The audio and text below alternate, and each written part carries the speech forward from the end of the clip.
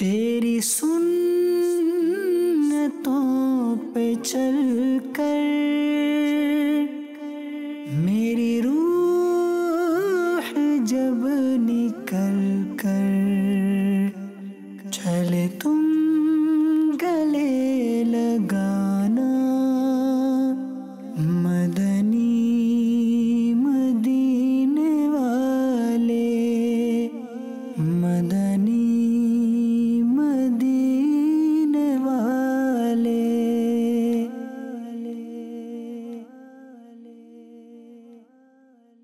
अल्हम्दुलिल्लाह रब्बिल आलमीन वसलातु वस्सलामु अला सय्यदिल मुरसलीन अम्मा बाद फ़अऊज़ु बिल्लाहि मिनश शैतानिर रजीम बिस्मिल्लाहिर रहमानिर रहीम अस्सलातु वस्सलामु अलैका या रसूल अल्लाह व अला आलिका व अस्हाबिका या हबीब अल्लाह अस्सलातु वस्सलामु अलैका या नबी अल्लाह व अला आलिका व अस्हाबिका या नूर अल्लाह सिलसिला है, ये भी नबी पाक वस्सलाम की सुन्नत है।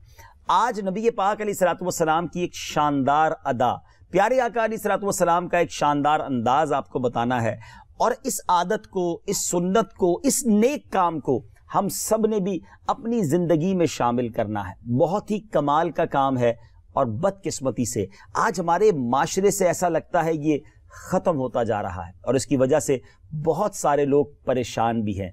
वो आदत कौन सी है? वो नेक काम कौन सा है? वो आपको बताते हैं। मगर पहले आपको एक बड़ा ही अजीबो गरीब और सच्ची बात यह है कि डरा देने वाला वाकया आपको सुनाते हैं। माजरा, कुछ यूँ था कि एक बुज़ुर्ग तआला का बयान है कि एक नेक और साले शख्स जो आजमी था, मेरा दोस्त था, रहता मक्का पाक में था और कमाल का इबादत गुजार था। तीस साल उसने इस तरह गुजारे कि रात भर तवाफ करता रहता, दिन में रोज़े और कुरान पाक की तिलावत करता रहता। नाजीन जरा तवज्जो रखिएगा, मक्का पाक वो अजीम जगह है। हदूद हरम के अंदर कोई एक नेकी करे, उसे एक लाख नेकियों का सवाब मिलता है। तीस साल तक अगर इतनी ज़्यादा इबादतें की जाएँ तो उसके अजर का आलम क्या होगा? वो बुज़ुर्ग कहते हैं कि मुझे कहीं सफ़र पर जाना था, मैंने अपने दोस्त के पास एक अच्छी खासी रकम अमानत के तौर पर रखवाई कि आप रखिए, मैं सफ़र से वापस आकर आपसे ले लूँगा। जब वो सफ़र से वापस आए तो मालूम हुआ कि उस दोस्त का इंतकाल हो गया है। बड़े परेशान हुए, क्योंकि उसके ख़ानदान में किसी और को नहीं जानते थे। अब वो रकम कहाँ रखी उसने, ये इन्हें मालूम नहीं था। ठीक ठाक टेंशन में आ गए। हज़रत मालिक बिन दीनार रहमतुल्लाह तआला को जब मालूम हुआ, उनका, उनके पास भी जाना था, देखा बहुत टेंशन में है, परेशान हैं। तो हज़रत मालिक बिन दीनार रहमतुल्लाह तआला ने पूछा कि तुम बड़े परेशान लग रहे हो, मामला क्या है? उन्होंने कहा कि ऐसा ऐसा हुआ, मेरा एक दोस्त था, बड़ा नेक भी था, मैंने उसके पास अमानतन रकम रखवाई है, मगर वापस आया हूँ तो उसका इंतकाल हो गया। मालूम नहीं वो रकम उसने कहाँ संभाल कर रखी थी। हज़रत मालिक बिन दीनार रहमतुल्लाह तआला ने बड़ा ही अनोखा और कमाल का मशवरा दिया। आपने फरमाया कि ऐसा करो कि काबा मुशर्रफा के करीब एक मकाम है रात के वक्त वहाँ जाया करो। रुकने यमानी और मकाम इब्राहिम के दरमियान खड़े होकर आधी रात के वक्त तुम उसको पुकारना, क्योंकि उस मकाम पर नेक लोगों की रूहें जमा होती हैं। चूँकि तुमने बताया कि वो शख्स बड़ा ही नेक था तो उम्मीद है कि अल्लाह के मकबूलीन की रूहों में उसकी रूह भी शामिल होगी। बहरहाल आधी रात के वक्त वो शख्स कहते हैं कि मैं रुकने यमानी और मकाम इब्राहिम के दरमियान खड़ा हुआ और मैंने आवाज़ लगाई, मगर मुझे कोई जवाब ना आया। सुबह हुई तो मैं हज़रत मालिक बिन दीनार रहमतुल्लाह तआला के पास गया और कहा, हुजूर, मैंने तो आपके फार्मूले के मुताबिक वो अमल किया, मगर मुझे कोई रिप्लाई नहीं आया, मुझे कोई जवाब नहीं मिला। तो हज़रत मालिक बिन दीनार रहमतुल्लाह तआला ने कहा, इन्ना व इन्ना इलैहि राजिऊन। यानी इस आयत का मतलब यह है, हम अल्लाह के माल है और हमको उसी की तरफ़ फिरना है। बहरहाल, आपने फरमाया कि अब ऐसा करो कि ऐसा लगता है कि तुम्हारा दोस्त जन्नतियों में से नहीं है, नेक लोगों में से नहीं। तुम यमन जाओ और वहाँ एक कुआँ है, उसको बीरे बरहूत कहा जाता है। वहाँ जहन्नमियों की, जिनको अजाब दिया जाता है, उनकी रूहें जमा होती हैं। तो वो कुआँ जहन्नम के मुँह पर है। तुम आधी रात के वक्त वहाँ जाकर कुएँ के किनारे खड़े होकर निदा करना कि ए फुला की रूह तो फिर तुमसे उसकी रूह कलाम करेगी। वो शख्स सफ़र करते हुए यमन पहुँचे बीर बरहूद पहुँचे। आधी रात के वक्त वहाँ जाकर उन्होंने आवाज़ लगाई तो बहरहाल, कुछ अलग रूहों ने भी जवाब दिया और फिर उसी उसी अजमी दोस्त की उसे आवाज़ आई। तो वो बुज़ुर्ग बड़े हैरान हुए, पहले तो कहा कि तुम यहाँ कहाँ पर? तुम्हारी तो बड़ी नेकियाँ थी, तुम तो बड़ी इबादत गुजार थे तो तुम्हारी रूह अजाब दिए जाने वालों में कैसे शामिल हो गई? तो उस रूह ने, उस अजमी शख्स जिसकी तीस साल मक्का पाक में इबादत थी, उसने बताया कि माजरा यह है कि मेरी एक माजूर बहन थी। मैंने उसका ख्याल नहीं रखा, उसका हक अदा नहीं किया। अल्लाह तबारक ताला ने वो जो मेरी तीस साल की इस कदर इबादत थी, मक्का पाक में की गई इबादत थी, वो सब मेरी इबादत जो है वो ज़ाया हो गई, उसको उसको नल एंड वॉइड कर दिया गया। वो इबादत मेरे कोई काम ना आई। और इस मेरी बहन का हक अदा ना करने की वजह से रब करीम ने मेरी पकड़ फरमाई और मुझसे फरमाया, तू उसको कैसे भूल गया? उसके पास कपड़े नहीं थे और तू कपड़े पहने हुए ज़िंदगी गुजारता था। वो भूखी रहती थी और तू शेर होकर खाता। वो प्यासी रहती थी और तू पेट भरकर पानी पीता था। फिर अल्लाह अज्जवजल ने फरमाया, मुझे मेरी इज़्ज़त और जलाल की कसम, मैं कताए रहमी करने वाले पर रहम नहीं करूँगा। फिर फरमाया गया कि इसे ले जाओ और बीरे बरहूत में डाल दो। तो मलकुल मौत सलाम ने मुझे इस कुएँ में डाल दिया और आह अब मुझे अजाब हो रहा है। ऐ मेरे भाई, मेरी बहन के पास जाओ और उससे मेरे लिए माफ़ी के लिए दरख्वास्त करो। क्योंकि वो माफ़ करेगी तो ही मैं इस अजाब से निकल पाऊँगा। बहरहाल, इस शख्स ने अपने पैसों के बारे में भी पूछा। उस रूह ने इनको पैसों की जगह भी बता दी। है वापस गए, उस जगह को देखा तो वहाँ वो रकम भी मौजूद थी। फिर उस मरहूम की बहन के पास गए। तो बहन ने वाकई ऐसा ही बताया कि भाई, पूछता नहीं था, ख्याल रखता नहीं था। मैं बहुत गुर्बत की और बड़ी तकलीफ़ की ज़िंदगी गुजार रही हूँ। बहरहाल जब उसने उसके भाई के बारे में बताया, कुछ रकम भी उन्हें पेश की उसकी बहन को तो बहन ने फिर भाई को मुआफ़ कर दिया। और एक रिवायत के मुताबिक दोबारा फिर उसी मकाम इब्राहिम और रुकन यमानी के पास जब आधी रात के वक्त गए और वहाँ जाकर आवाज़ लगाई तो अब उस अजमी शख्स की वहाँ पर आवाज़ सुनाई दी कि अल्लाह ताला ने मुझे मुआफ़ कर दिया क्योंकि मेरी बहन ने भी मुझे माफ़ कर दिया। मदनी मदीने वाले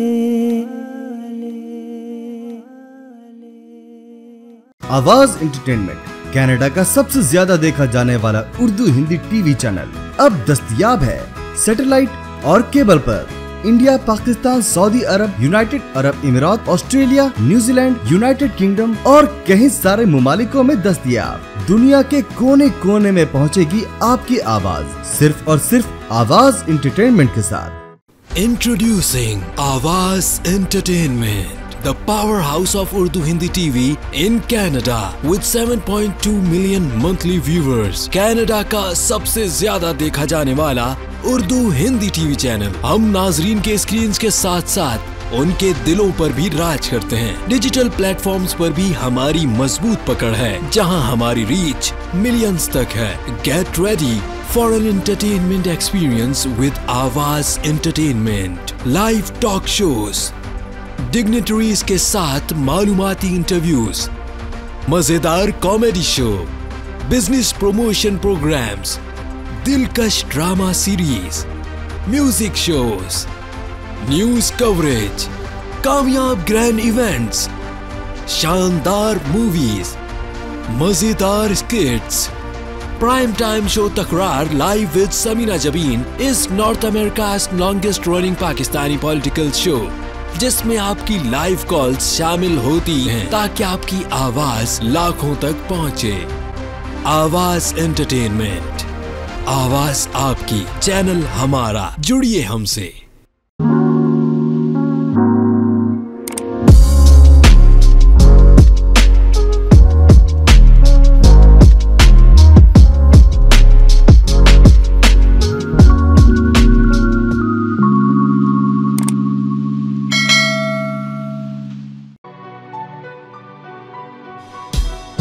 Help those who are in dire need.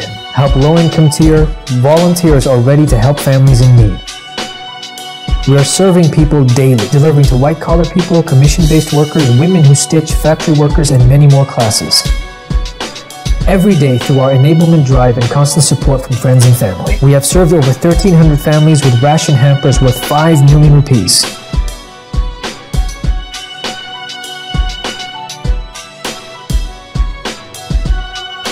Your donation can save lives. The best charity is given in Ramadan. Awaz Entertainment Foundation. Donate now. Madani मदीने वाले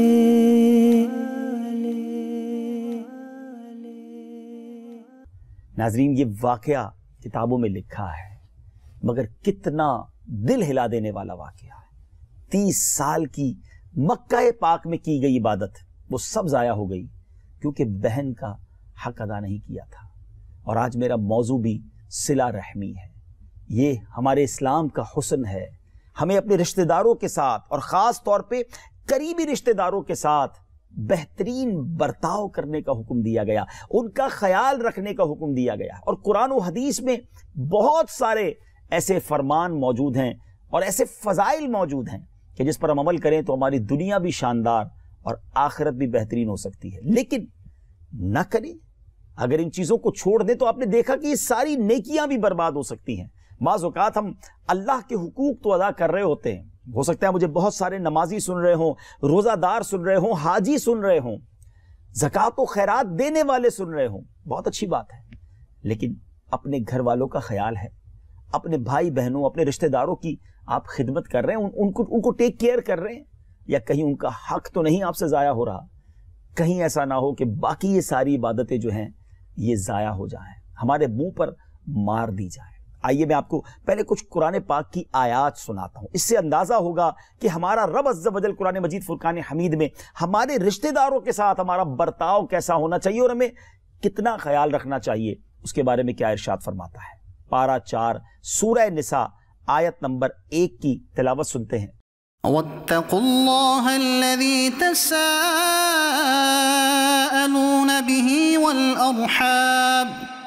तर्जमा कंजुल ईमान और अल्लाह से डरो जिसके नाम पर मांगते हो और रिश्तों का लिहाज रखो यानी उन्हें कता न करो। अब आइए पारा पंद्रह सूरह बनी इसराइल की आयत की तिलावत सुनते हैं।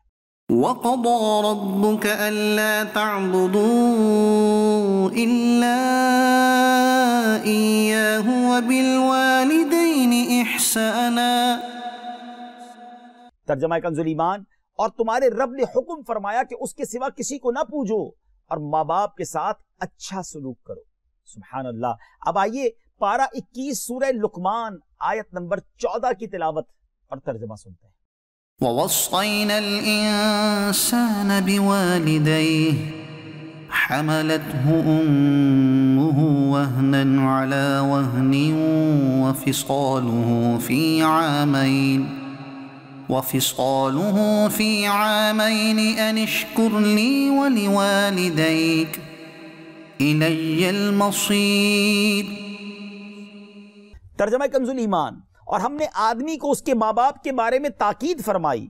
उसकी माँ ने उसे पेट में रखा, कमज़ोरी पर कमज़ोरी झेलती हुई और उसका दूध छूटना दो बरस में है। ये कि हक मान मेरा और अपने माँ बाप का आखिर मुझी तक आना है। अल्लाह अकबर। नाजरीन, कुरान मजीद फुरकान हमीद जा बजा हमें हमारे माँ बाप हमारे रिश्तेदारों के बारे में तलकीन फरमा रहा है, हुक्म फरमा रहा है। हमारी गोया तरबियत हो रही है। कि माँ बाप के साथ सलूक कैसा हो, रिश्तेदारों का लिहाज रखा जाए। मगर आजकल हालात ये हैं कि बाहर वालों का बड़ा ख्याल है। दोस्तों के लिए जान हाजिर है, मगर अपनों के लिए खास तौर पे माँ बाप के लिए भाई बहनों के लिए वक्त नहीं है हमारे पास। नहीं नाजरीन, सिला रहमी बहुत ज़रूरी है। और यकीन जानिए, दुनिया में हमारे रोज़गार के लिए, हमारी उम्र में इजाफे के लिए, बुरी मौत से बचने के लिए सिला रहमी कैसे काम आती है? बताइए ना, आप सब तो चाहते हैं ना कि हमारी उम्र भी बढ़ जाए, उम्र में बरकत हो जाए, रिस्क में बरकत हो जाए, हम बुरी मौत से बच जाएँ। ये इनामात कैसे शानदार हैं? सिला रहमी का मतलब क्या है? कहते किसको है सिला रहमी। मुफ्ती अमजद अली आजमी रहमत तआला फरमाते हैं कि सिला रहम के माना रिश्ते को जोड़ना है। यानी रिश्ते वालों के साथ नेकी और सलूक करना। और सारी उम्मत का इस पर इत्तेफाक है कि सिला रहम वाजिब है। और कत रहम, यानी रिश्तेदारी काटना हराम है। अब जरा इसको और दूसरे अंदाज से समझिए। आपने शब बारात और शब कदर में पढ़ा होगा, सुना होगा कि सबकी बख्शिश कर दी जाती, करोड़ों बख्शे जाएँगे। मगर चंद मुजरमीन की लिस्ट होती है एक्सेप्शनल मुस्तना कि ये नहीं माफ़ किए जाते। आप उसमें पढ़ेंगे तो आपको रिश्तेदारी काटने वाला भी मिलेगा। यानी अल्लाह की बारगाह में ये कितना बड़ा जुर्म है। मगर यहाँ तो जिसको देखो रिश्तेदारियाँ काटी हुई हैं। हम फलां के घर नहीं जाएँगे, हम अपने किसी को अपने घर नहीं बुलाते, हम अपने चाचा से नाराज़ हैं। नहीं जनाब, हम उनसे, उनको दावत में नहीं बुलाएँगे, उनसे बात नहीं करते। क्यों? छोटी छोटी बातों पर रिश्तेदारियाँ काटी हुई हैं। भाई भाई से बात नहीं कर रहा बहन बहन से बात नहीं कर रही। ये क्या है? दूसरों के लिए तुम्हारे पास मोहब्बत है, अपनों के लिए नहीं है। हो जाती है गलती। बात कभी मिजाज के खिलाफ भी हो जाती है, लेकिन हमें हुक्म दिया है शरीयत ने, रिश्तेदारों के साथ अच्छा सलूक करने का। अब आइए, नबी पाक की कुछ अहदीस सुनाता हूँ। जैसे मैंने कहा था ना कि हम सब चाहते हैं हमारी उम्र में भी इजाफा हो, रिस्क में भी इजाफा हो, बुरी मौत से भी बचें। जरा सुनिए। प्यारे अकाली सलाम फरमाते, सिला रहमी रिस्क को बढ़ाती और उम्र में ज्यादती करती है। सिला रहमी अर्श से लटकी हुई अल्लाह पाक की बारगाह में इल्तजा करती है कि, ए अल्लाह, तू उसे मिला जो मुझे मिला है और तू उसे काट जो मुझे काटे। तो अल्लाह पाक फरमाता है, मेरी इज़्ज़त जलाल की कसम, मैं ज़रूर उसको मिलाऊँगा जो तुझे मिलाएगा, और ज़रूर उसे कता कर दूँगा जो तुझे कता करेगा। यानी जो रिश्तेदारी काटते हैं ना, गोया उनके भी मामला कट जाते हैं, बर्बाद भी होते हैं, रिस्क भी कट जाता है। रिश्तेदारी मिलाइए, मिसला रहमी कीजिए, दुनिया में भी बरकतें देखेंगे। एक और हदीस पाक सुनिए। नबी पाक सलाम का फरमान, जो अपनी उम्र में इजाफे और रिस्क में कुशादगी और बुरी मौत से तहफ़ चाहता है। वो अल्लाह जबदल से डरे और सिला रहमी करे। वक्तन फवक्तन रिश्तेदारों को तोहफे भिजवाते रहें, प्यार से मिलते रहें, उनसे बातचीत करते रहें, वो आए तो उनका ख्याल रखें।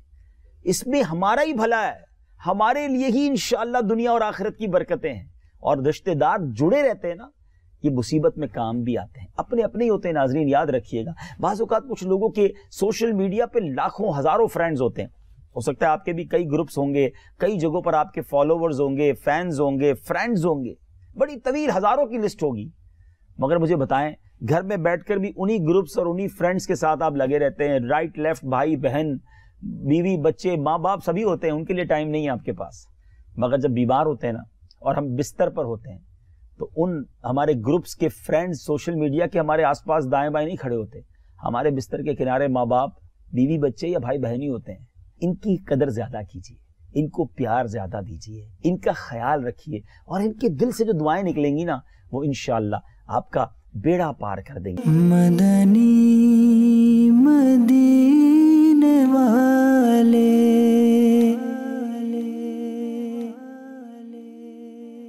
आवाज़ एंटरटेनमेंट कनाडा का सबसे ज़्यादा देखा जाने वाला उर्दू हिंदी टीवी चैनल। अब दस्तियाब है सैटेलाइट और केबल पर।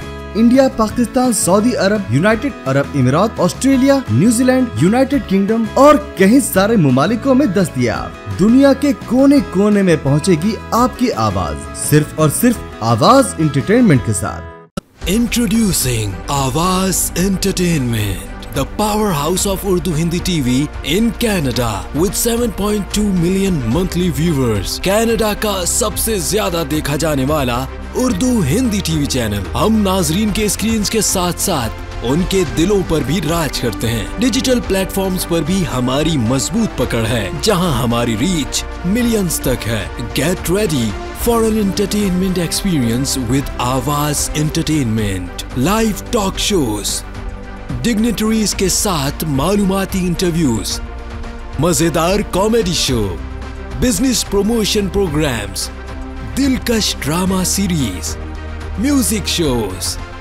news coverage कामयाब ग्रैंड इवेंट्स शानदार मूवीज़ मज़ेदार skits prime time show Takrar live with Samina Jabeen is North America longest running Pakistani political show जिसमें आपकी लाइव कॉल्स शामिल होती हैं ताकि आपकी आवाज़ लाखों तक पहुँचे। आवाज़ एंटरटेनमेंट आवाज़ आपकी। चैनल हमारा। जुड़िए हमसे।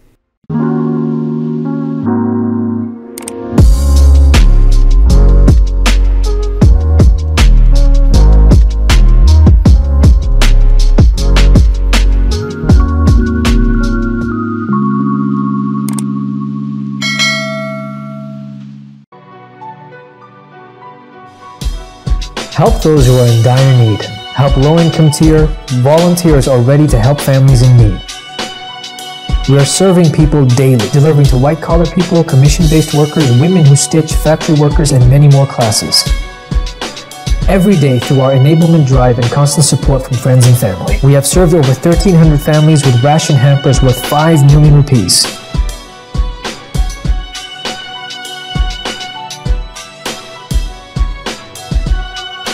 Your donation can save lives. The best charity is given in Ramadan. Awaz Entertainment Foundation. Donate now.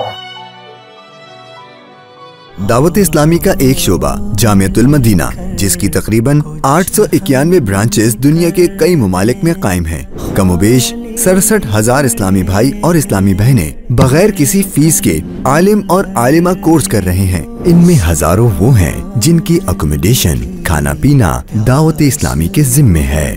आप भी डोनेशंस के ज़रिए इस शोबे के साथ ताउन कर सकते हैं। आपके चंदे यानी डोनेशन को किसी भी जायज़, दीनी, इस्लाही, फलाही, रूहानी, खैर ख्वाही और भलाई के काम में खर्च किया जा सकता है।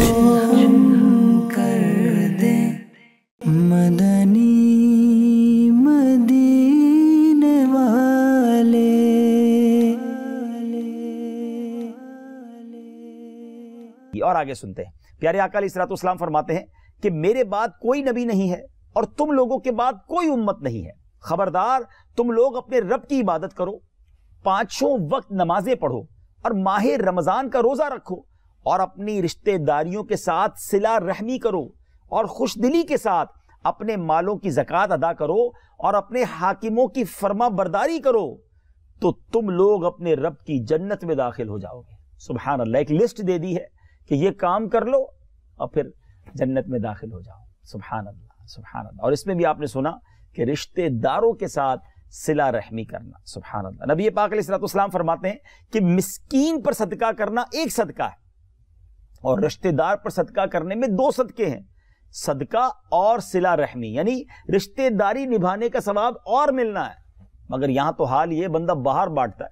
और ये जनाब बड़ी सखावत के चर्चे होते हैं कुछ लोगों के, और उनके अपने रिश्तेदार परेशान होते हैं। और इसमें भी नफ्स का एक वार है, शैतान का वार पता है क्या है? हम बाजों का जब बाहर सदका बांटते हैं तो नाम भी होता है। कुछ लोगों को तो शौक भी होता है ना कि बांटेंगे, फिर उसकी तस्वीरें चलाएँगे, मस्जिद में ऐलान करवाएँगे, अखबार में तस्वीर छपवाएँगे तो ये सब चीज़ें रिश्तेदारों के साथ तो हो नहीं सकती। बाहर लोग तारीफ़ भी बहुत करते हैं। रिश्तेदारों से बाजुकात वो तारीफ़ नहीं मिलनी होती। तो हमने तारीफ़ के लिए सदका बांटना है, नाम के लिए सब कुछ करना है या अल्लाह को राज़ी करना है? रिश्तेदारों को देने में डबल सवाब है।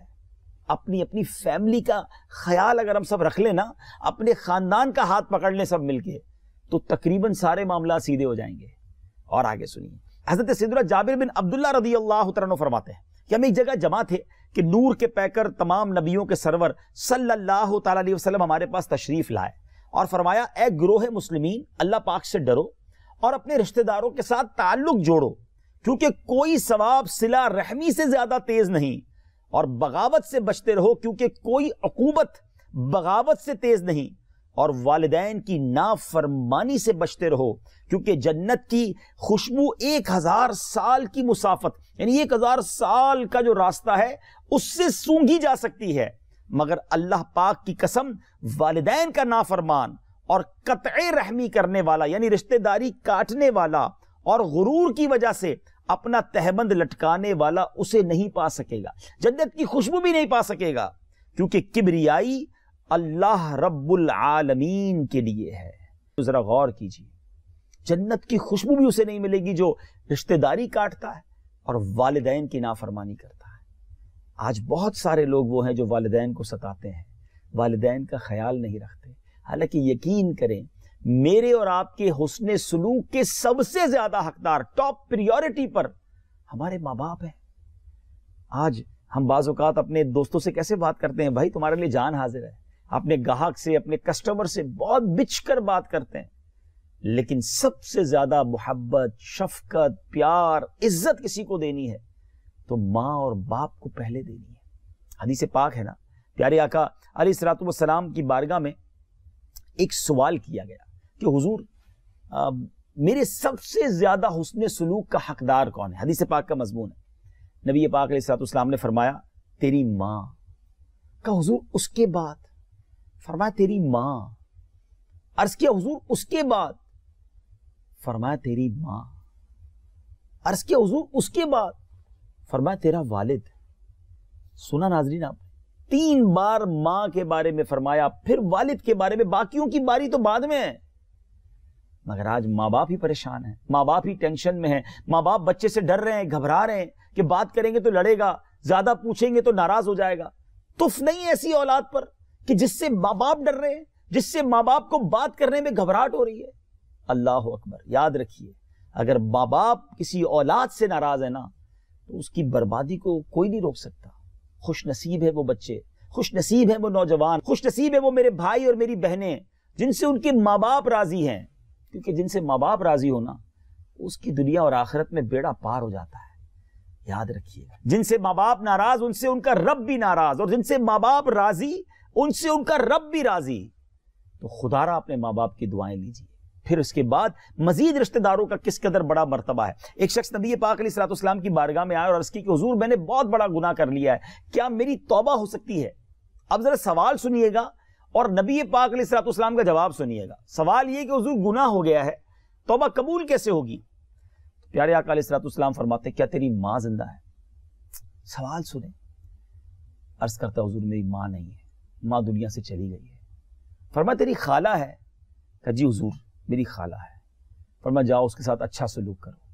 सोचिए, तौबा करनी है गुना मुआफ करवाने मगर हुक्म दिया जा रहा है कि खाला के साथ अच्छा सलूक करो। यानी इसका मतलब यह हुआ कि खाला की खिदमत कर लो, अल्लाह तेरे गुना माफ़ कर देगा। लेकिन आज खाला फुप्पो हमारे हमारे चाचा, हमारे ताया, बहुत सारे रिश्तेदार होते हैं आसपास। किसी के लिए दिल में बाज नरमी भी नहीं होती, ख्याल भी नहीं आता। और ख़ास तौर पर जब माँ बाप चले जाए ना, इधर माँ का इंतकाल हुआ तो जितनी खाला हैं और जनाब ननियाल के रिश्तेदार हैं, उनसे रिश्ता ख़त्म। इधर वाले साहब का इंतकाल हुआ तो ताया, चाचा और ददियाल के रिश्तेदारों से रिश्ता ख़त्म हो जाता है। मिलना मिलाना ही ख़त्म हो जाता है। ऐसा ना करें। माँ बाप के दुनिया से जाने के बाद उनके रिश्तेदारों के साथ अच्छा सलूक करें तो माँ बाप की रूह खुश होती है।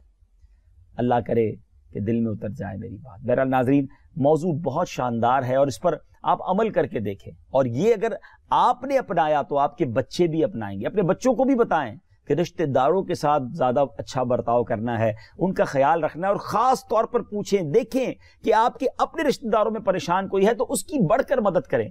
हर रिश्तेदार आपसे आकर मांगेगा, नहीं, उसका इंतज़ार ना करें कि वो मांगे, आप खुद तलाश करें कि कौन परेशान है।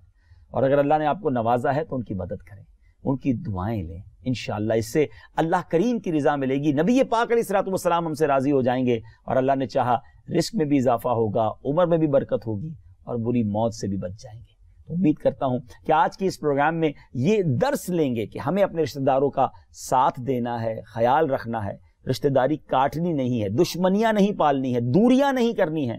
बल्कि अगर आज के प्रोग्राम को जो लोग देख रहे हैं और ऐसे मेरे भाई बहन मुझे सुन रहे हैं कि जिन्होंने किसी वजह से अपने रिश्तेदारों से कता ताल्लुक किया है हाँ अगर बद मजहबियत है अगर उनके बिलीव्स दुरुस्त नहीं है और अल्लाह और उसके रसूल के हवाले से उनके ख्याल कुछ और हैं तो फिर तो अलग बात है।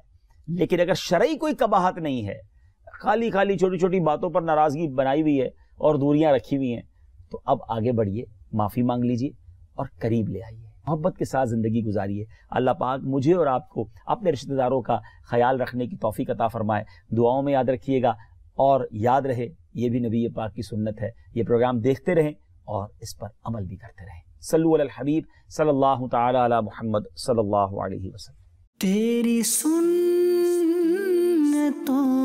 पे चल कर मेरी रूह जब निकल कर चले तुम